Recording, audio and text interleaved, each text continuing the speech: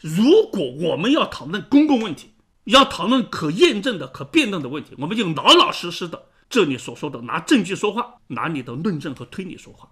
如果你讨论的不是这些问题，OK，你怎么说都可以，你把你说的多么的高深都没问题，无伤大雅，那就是你自己的事情。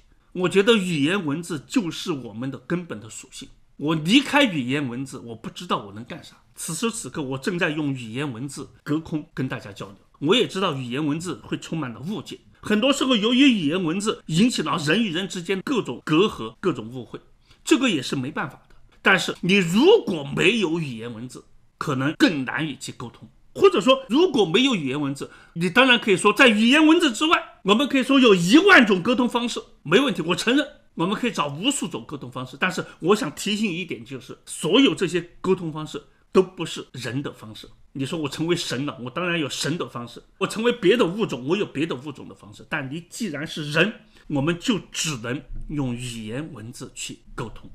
解铃还需系铃人啊！语言的问题最终还得依靠语言去解决，而语言的问题如果靠语言不能够终极解决，恰好反过来又说明语言本身的价值，因为语言代表的是一个过程性，而不是一个终极性。我们不需要一个终极性的东西，终极性的东西取消了一切语言，取消了一切文字，取消了我们的一切存在的东西，因为语言是存在的家。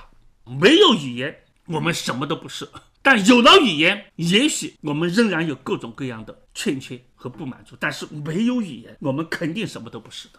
语言是一个必要的一个条件，而人要做的就是什么呢？我们要去充实我们的语言，发挥我们的语言。